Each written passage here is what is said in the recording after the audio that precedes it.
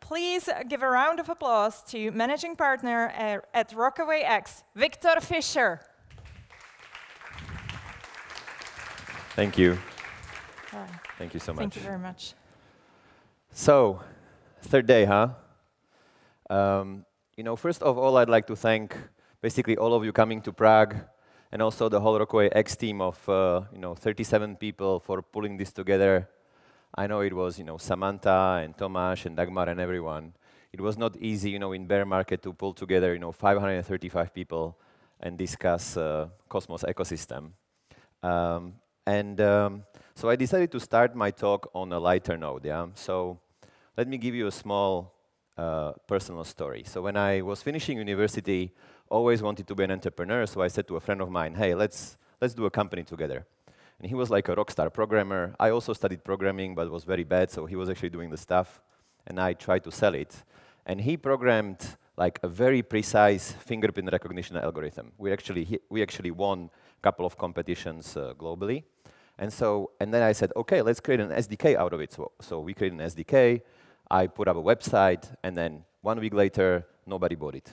Two weeks later, nobody bought it. You know, two months later, still nobody bought it.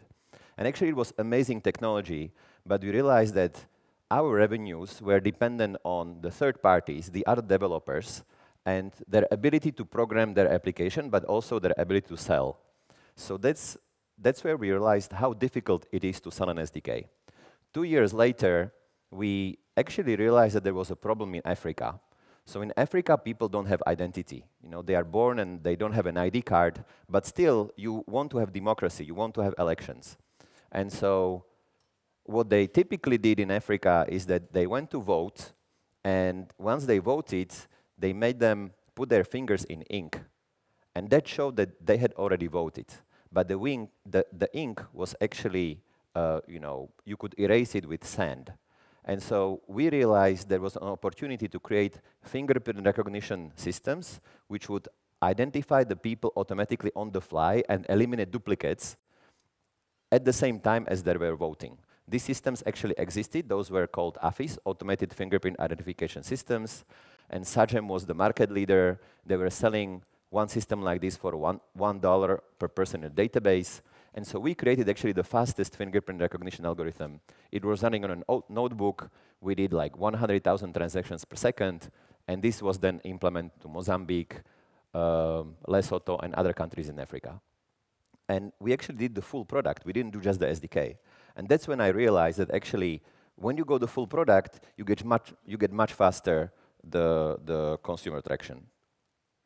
The green button, yeah? Green button. Okay. And so, so then what inspired me for this talk is uh, this Zaki's quote. Yeah, uh, the hour is late. We have to do something because like everybody's catching us on the on on on the Cosmos technology. And actually, Cosmos is an amazing technology. You know, I was just impressed what Josh presented on shared sequencers. You know, Agoric, what they are doing with Hardened JavaScript, and also you know the modularity and the sovereignty, ability to have your own chain, privacy. So so much stuff going on in Cosmos. It's just amazing technology. That's why you know 74 chains are actually built uh, today, maybe even more, using like Cosmos SDK or on Cosmos, covering all different kinds of use cases. But let's take a look at traction. So this is just a screenshot from CoinMarketCap. All the Cosmos chains total approximately one uh, billion dollars of $10 billion of, uh, of market cap, which is less than 1% of the overall crypto market cap of 1.1 trillion currently. But this is just the price. Like we don't care about price. So let's talk about uh, let's talk about traction.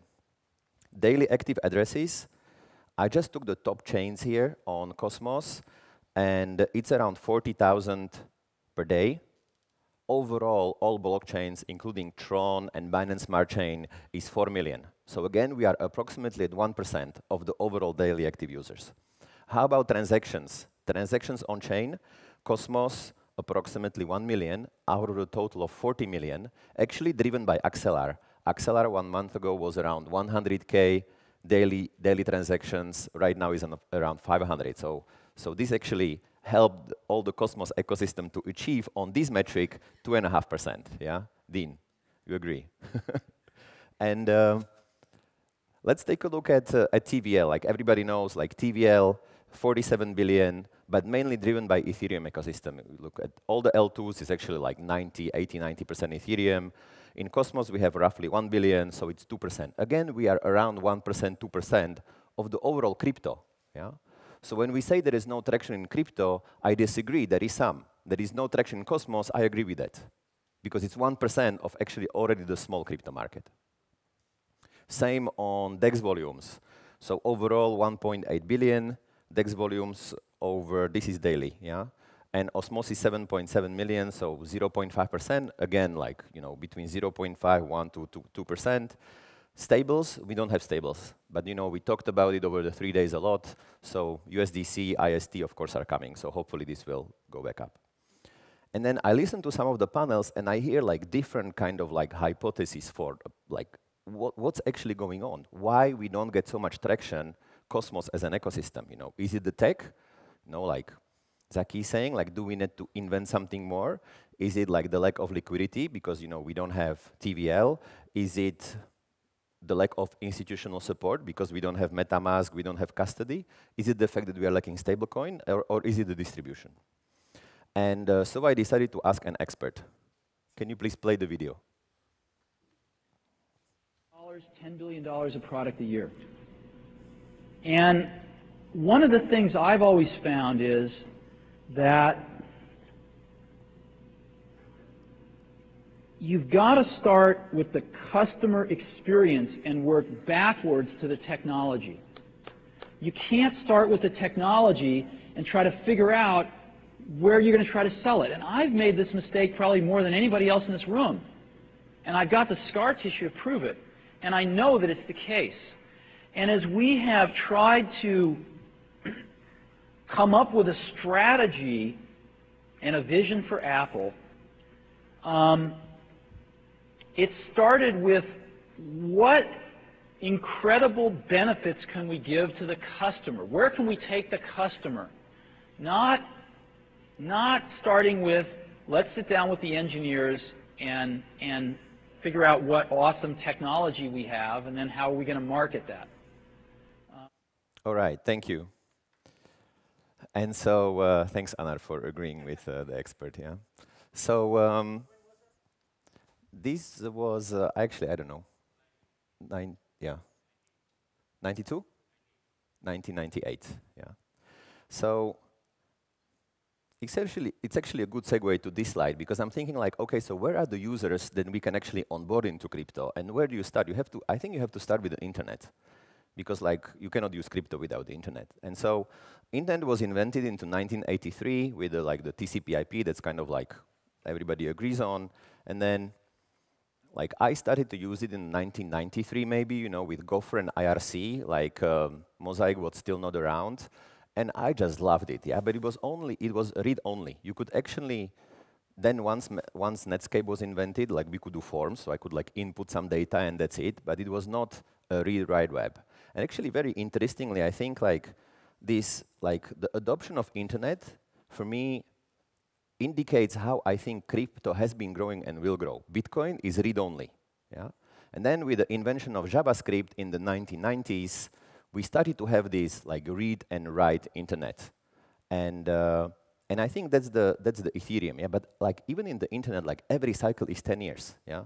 10 years read only. I still remember I was studying my high school in the US. We actually got the CDs from America Online to be, to be put online, yeah? So like, and it was just a hassle. You had to have a modem and you know, you, you went like maybe 256 kilos. So it's like, was, it was such a hassle to get online back then, like it is to get into crypto today with fiat on-ramps. And so with the read-write web, what it actually allowed is, you know, you could now write blocks, and you could now like tag your friends, and you could now start a discussion online. And that's what kicked in the new wave of social web. I think this is still to come in crypto. I think it will be the new wave of creator economy. I think it's once everyone is a creator, that's what's, that's what's, go what's going to drive the next growth. And then the fourth one in the internet was mobile, and I think we are still to see this one. So I think in 20 years from now, once we have, you know, Cosmos Gateway uh, 2053, then, uh, you know, we'll be uh, we'll know what, what would happen. But, but the internet actually, as it grew, it still has two problems even today. Number one, it's missing a financial layer. So to make a transaction on the internet, you have to put your credit card, you know, with the, the CCV number. It's not secure. It goes through four banks. Like every bank takes a fee. Why we ju just don't have the native financial layer on the internet? Number one. And number two, how do you show that you actually, so a fundamental human need is to belong to a society and then have a status within that society. In real world, you know, you do it with Ferraris and Louis Vuitton bags. But on the internet, you don't have means to do this because, you know, the picture of your Ferrari could be a picture of that you just downloaded on the internet from someone else. The only way how to show this is uh, basically blockchain, crypto, or NFTs. And so let's focus on those one by one, and let's, you know, talk about some examples where I think Cosmos should focus more. So number one is the financial layer and the potential. Even the overall crypto is super small, 1.1 trillion market cap, still super small compared to, uh, you know, all the other financial um, services and products which are out there, which are in terms of derivatives, it's 600 billion trillion dollars. In terms of uh, debt, it's, it's $300 trillion. So the market that we could attack is really, really big, number one. And, but we can see that, that already crypto, the apps have been addressing this market and these financial needs. So for example, payments, we have some payments in Cosmos ecosystem, also e-money. I don't think it has much traction. I looked yesterday.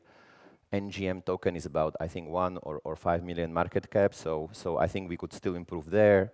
Uh, swaps, lending, yield. I think what Terra really brought into the Cosmos ecosystem, as Sunny said, was traction, was yield. We were able to get 20% yield through Anchor, but you could use it only if you used UST as a stablecoin. And that's what actually drove a lot of users and a lot of liquidity into the ecosystem. So I think we need another yield generating protocols, and I'm excited about you know what uh, 42 are doing, for example. Uh, Adam from Rockaway X also has some ideas. I don't know where he is. Yeah, but he's hiding back there. So you could also talk to him. And then I agree with Sam from the panel we had earlier today. Real world assets and bringing them on chain is, is what I think will bring additional, um, additional traction. So let's, let's talk about some examples. Uh, so disclaimer, we invested into Helio at the beginning of the year. It's just a payment platform, super simple to use. You know, you are doing like a private sale of NFTs. You will use them to actually uh, get payments from all the different like pre-minters, number one. Number two, on Helio, you can create an invoice with one click, send to someone, and then just accept crypto very easily. Stripe is processing $300 billion in uh, yearly payments cross-border remittances is around $600 billion yearly. So this is a massive market, which I think uh, um, Web3 solutions could, could attack. Second is um, reinsurance. So the, the, the, entire insurance market is around $900 billion, but half of that is reinsurance. So the insurance companies will actually insure something, but then would sell it to reinsurance companies. It's half, yeah? Like the leaders are Swiss Re, Munich Re, but there are also others. Ensuro, I don't know if you know it, Ensuro.co is a platform which is actually reinsuring Koala Insurance. Koala Insurance, Koala is a fintech company. They're doing parametric insurance on travel. So it's basically, yes, there was an insurance event, they, you, you want to be reimbursed or no. So parametric means yes or no answer. They're able to, re, to, to reinsure that Swiss and Munich Re are generating around 12 to 14% yearly return. On Koala, you can have 12 to 25% yearly, on Ensuro, you can have 12 to 25% yearly return, depending on which tranche you want to be positioned when you are providing liquidity.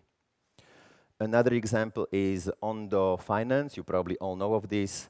So when the current bear market happened, we actually lost yield in crypto. Now, what is Aave or Compound? What's the yield on Aave Compound? 1 or 2% maybe, on USDC maybe 3, but it's still far below what US treasuries are providing. Ondo is allowing us to invest on-chain to US treasuries or on-chain to high-yield fixed income generating you know, between 5 to 8%. Um, so that's, that's another example.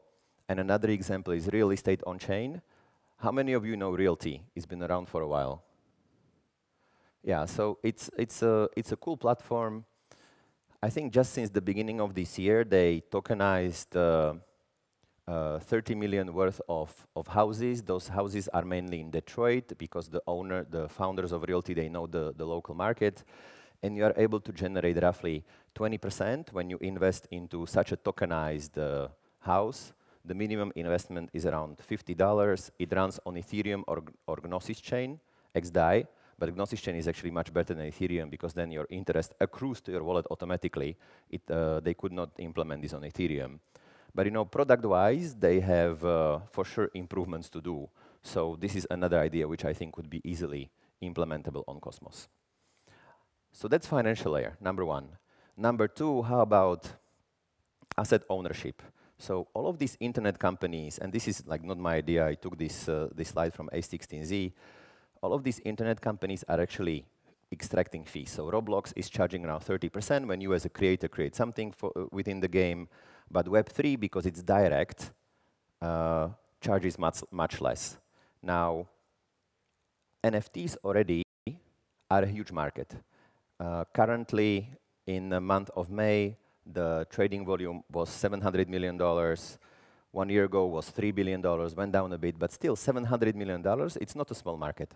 Compared to trading volume of tokens, trading volume of tokens per month is around 1 trillion derivatives, crypto derivatives is 2 trillion. So crypto derivatives 2 trillion, spot 1 trillion, NFTs 1 billion. That's how I think about it, yeah? And uh, NFTs, I think, are an opportunity for Cosmos to also have one of their chains to grow quickly. See here, I don't know if you can read it, but uh, the market collection, which is basically skins uh, on chain, like for video games, has allowed the Mythos chain to be within top five just over the past 30 days. Th this is how we split different asset ownership use cases. This is just one segmentation when we use. We split them into physical world and virtual world. So in the physical world, you can actually engage directly with your fans. If you are, for example, Formula One team like Alpine, Alpine is using NFTs. If you go on CryptoSlam, Alpine fan tokens, I think it's top three currently, trading around $5 million per, per month. Number two, brands are using NFTs to engage directly with their communities, like, for example, Nike and their new Swoosh project. Um, you maybe heard about DePIN or decentralized physical infrastructure projects like HiveMapper. HiveMapper is actually cool because even if you don't have a car, the algorithm gives you a picture of, for example, a stop sign, which the machine learning algorithm of HiveMapper could not read, but then you say, oh, it's a stop sign, and as a result, you help HiveMapper to improve their machine learning model, and as a result of that, you earn honey tokens. So I like that use case. Activity gamification with, uh, I don't know, I'm using Genopets right now, or STEPN, loyalty programs, we'll talk about this uh, later, and also identity linked to events like the POAP token. That's, that's the physical world. Number two is virtual world. Gaming already today represents 48% of transactions on chain. So we think that might be another vertical which will, which will drive adoption. I'm looking forward to seeing Cosmos chains also focusing on gaming. Uh, comics, we'll talk about it later. Uh, social networks slash identity on chain. Um, another interesting vertical, and uh, and maybe AI. But let's talk about let's talk about concrete use cases. How many of you know Sorare? Okay, so uh, Sorare is a, is a fantasy football game, but now they're also in ABA and in, and, um, and in the Football League. You actually collect the cards, and then you actually play the fantasy, and you, you earn yield in Ethereum. You actually earn like 0.164 ETH when you kind of like win, depending on your team, versus what, the, what were the real results in the real world. Sorare raised $680 million. I'm hearing their annualized revenue is still around $100 million. Second is a loyalty program. How many of you heard about Travala? Yeah, so quite many. So uh, Anara found this use case, and I think Anara, maybe you travel not, not through bookings.com anymore, you only travel through Travala, no? Because when you book on Travala, so the token has four use cases. Number one, you get a cashback. When you book something through Travala, Travala uses booking.com, so you have the same prices, but when you book through Travala, you actually get a cashback between 3 to $10 per booking. Um, you probably don't see it here, but you know, feel free to go on travala.com, you'll see there. Then uh, Uh, another one is NFT loyalties. They have NFT NFT lo based loyalty program. The more you use it, the more discounts you get, and and also the community voting on the next features. Uh, playmakers. How many of you heard about playmakers? Okay, just a couple. So playmakers, uh, we invested just recently in the in the seed round, and um, Actually, many games currently were initially created like mods. So Counter-Strike is a mod on Half-Life. And uh, people just love, when they love, a, when they love a game, they love just, they love to create something in that game. And we would like a world where they actually get paid for it as well. So this is an example of, uh, of a game where one of the players created this character, but that character was, uh, he was unable to monetize that character but through Playmakers. Playmakers is a publishing platform which connects artists or users with the games. And when someone creates something like a, uh, like a skin or a new weapon in the game and it's being used, then that platform actually monetizes uh, and, uh, and gives the, the artist also part of the revenue so it has two parts of it. Number one is the publishing platform and content monetization platform, and the second part is uh, rewarding the contributions with, uh, with the reward token. Another example in the gaming vertical is Playmint. Uh, Playmint is a fully on-chain game. You probably heard about it already. Um, it's uh, developed using ZK, and um, the skins market is around 60 billion um, dollars worth annually the and and people just since Ultima Online, people love you know trading in-game items. But currently, if you want to trade an in-game item on Steam, you basically don't really see who has used it before and who won, for example, a game with it in an, like an esports tournament. But through an on-chain game, you would actually have on-chain everything, and then you can you know buy that item, show that item in-game, or monetize that item because everything will be on-chain. Uh, third example I want to discuss is a comics uh, book online, Three World, Three Moons. Anybody knows about Three World, Three Moons?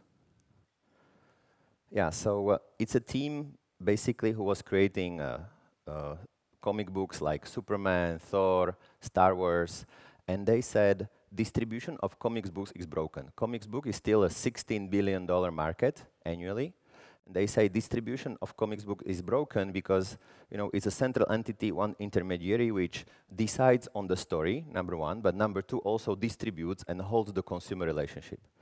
With the with the crypto and with NFTs, they are able to allow readers to change the story. So here you can see a screenshot how you as a reader online can actually choose like how will you adopt the storyline. And also you can participate into the experience through NFTs, and then through also you know your character because also your avatar changes ultimately being able to also earn once you create participate and then sell your uh, your in-game items. So these are just a couple of examples within the financial and the web3 um, worlds which we are excited about. Uh, i'm sure there is much more so let's have a discussion after. Ultimately i would say i would say the following yeah? So we are born in a communist country, and you are now sitting on the soil of an ex-communist country. And you know, I was 12 when communism fell, and we were unable to travel. We were unable to send money on board. So for us, why we are excited about crypto is because ultimately it helps you to have freedom because you can have a smartphone and a connection to internet and you can basically do financial services. You can invest in Apple stock, you can lend, you can borrow, you can send payments. So this is what ultimately really excites us and this is also what excites us about Cosmos, because Cosmos equals freedom. You know, you have really good privacy, you have the sovereignty, you have the optionality, you have the modularity. Uh, so uh, for us, Cosmos also equals freedom. Thank you.